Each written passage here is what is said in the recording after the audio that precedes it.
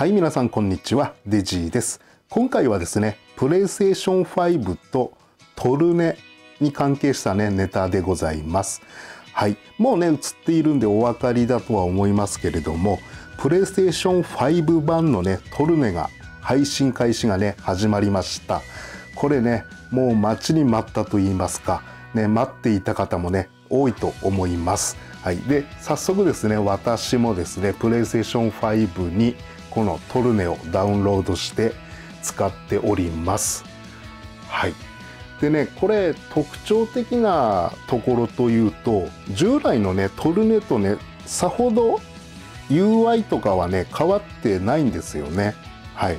で何が変わったかっていうとまずねやっぱりプレイステーション5ということで高速に起動したしているっていうことと早送りとかね早戻しの時にね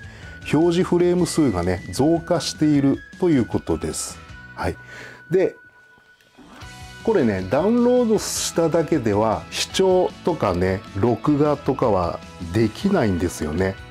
うん、そういう時はこのトルネアっていうところから4つありますけれどもまずね視聴再生機能っていうのはねもう必須だと思います。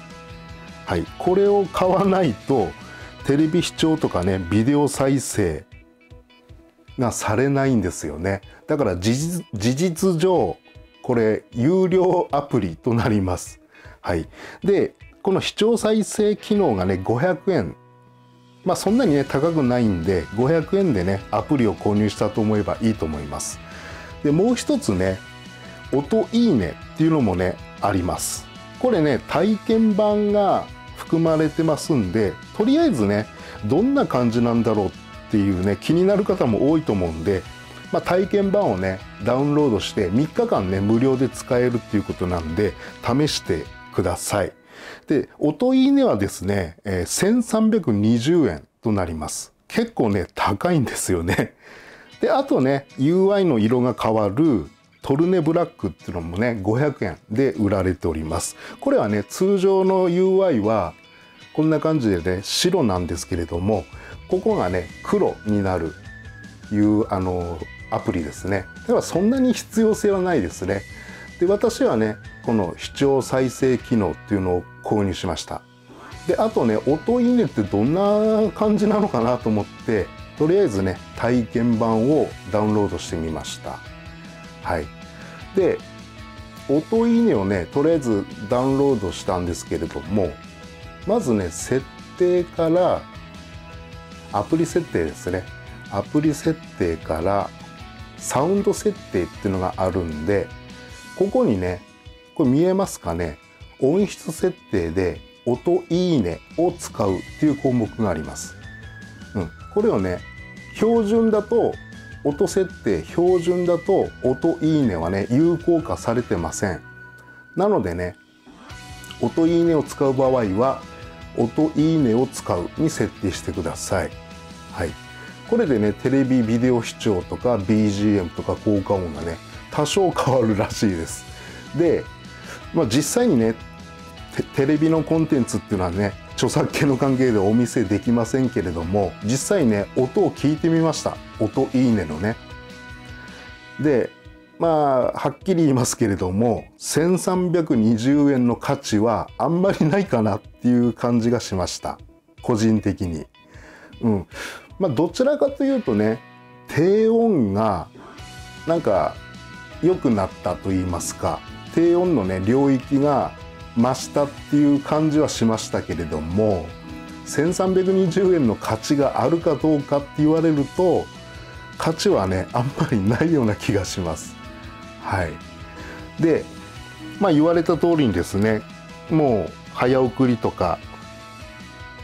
早戻しのね表示フレーム数もね増加しているんで結構ね見やすくなってますね早送りとかは。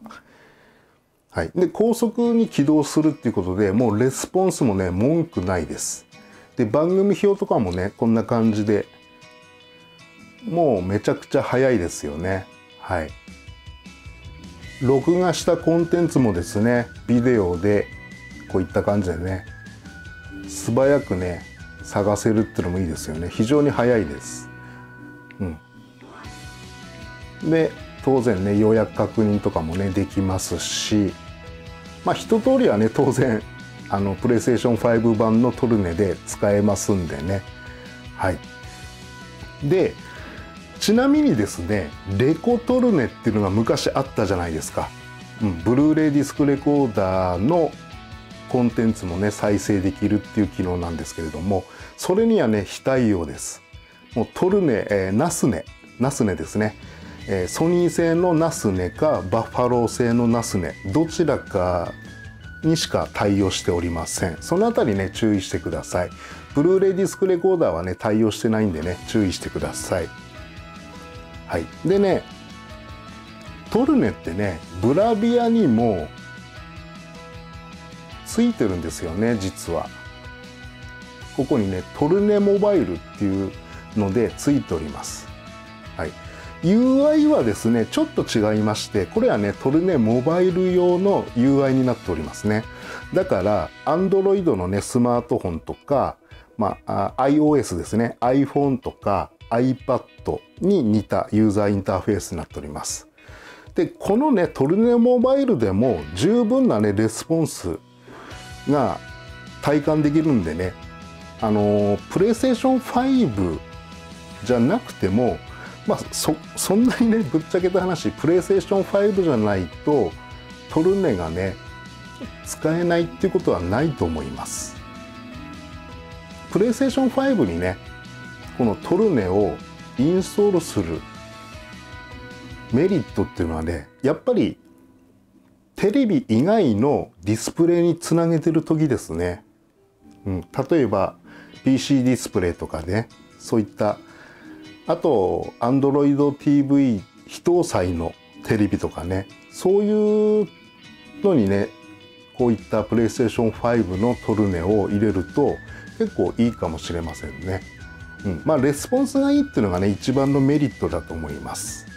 最後にですねバッファロー製ナスネの情報なんですけれどもシステムソフトウェアがねバージョン4.00にアップデートされておりますこれねどういったソフトウェアアップデートかというとお引越しダビングに対応したっていうのとシステムソフトウェアのね安定性が向上されております。でお引越しダビングなんですけれどもこれね結構いい機能でソニー製のねナスネもお引越しダビングにね対応しているんで買い替えにねちょうどいいかもしれませんね。ソニー製ナスネね発売されてから結構ね時が経っているんでそろそろ買い替えようかなっていう方もねいらっしゃると思います。まあね故障とかねすると困るんでね。でこのね nasne のあバッファロー製ね。バッファロー製の nasne を買えばね、ソニー製の nasne からダビングできますんで、まあ、そのままねコンテンツを移行いたいいただきまして nasne のねあバッファロー製 nasne をね使うっていうことができるようになりました。はい、これ結構ね便利だと思います。まあ、2台持っている方はね気楽にねダビングができるようになったっていうことでねこれはいいと思います。あとですねバッファロー製のナスネを7ヶ月以上使っていますけれどもそれでねちょっと気になった点がね一つあったんでそれをねご報告したと思います。まずねバッファロー製ナスネってファンが搭載されたんですよ。で6ヶ月ほどねそのまんまもうねほこりとか全然掃除せずに使っていたらですねここにね通気通気口があるんですよ。ね、通気口。ここねめっちゃくちゃホコリがねここついてました。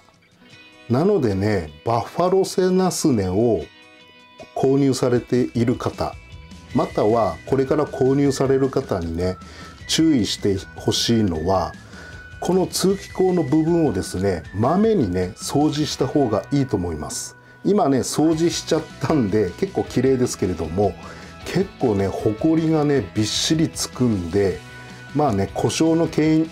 故障の原因に、ね、なる可能性もあるんでねだいたいね23ヶ月に1回ぐらいはね掃除した方がいいと思います。